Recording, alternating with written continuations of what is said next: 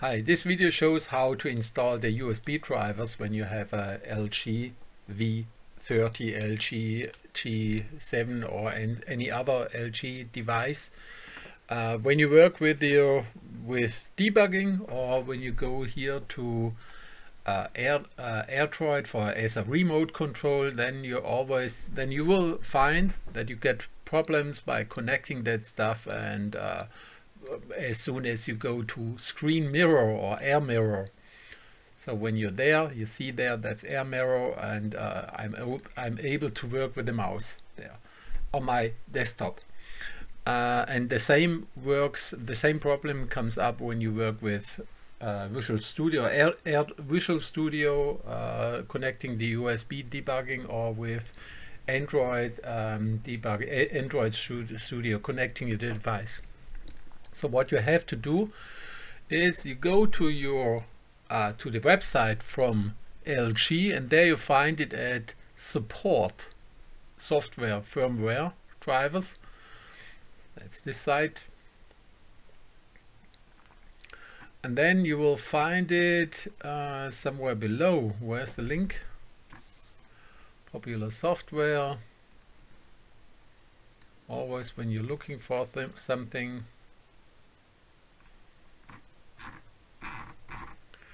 Now, I always also have the link not anymore there. So LG COM US support software so, so, uh, firmware drivers. Why is it not there? So you type in there LG uh, V30 and then I got here they are. Oh, sorry, they are here. Popular software LG mobile drivers. That's the point. That's what I was looking for.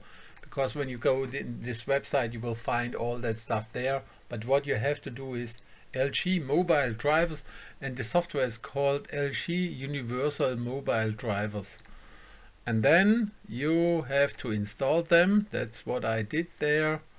Um, I was running it, installing it. Now, come on. Now you see the installation. You install it on your Windows 10 PC.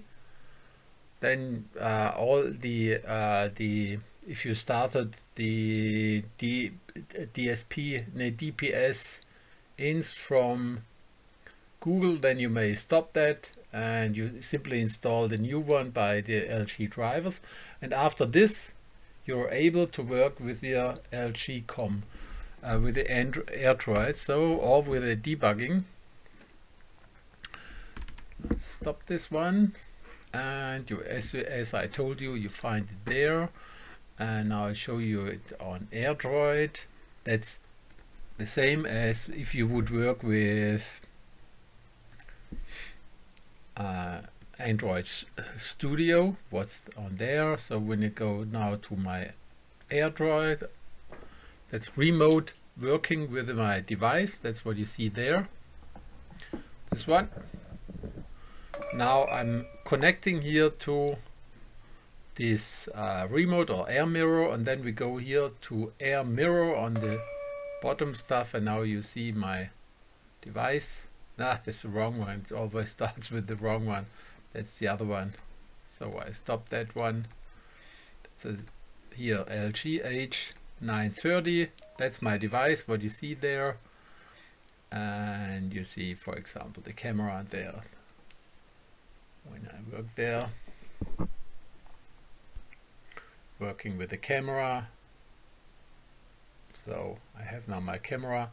And that's it. Uh, it's a lot faster than the, the one with the connection with the uh, web server. Remote controlled because this goes over uh, the USB port.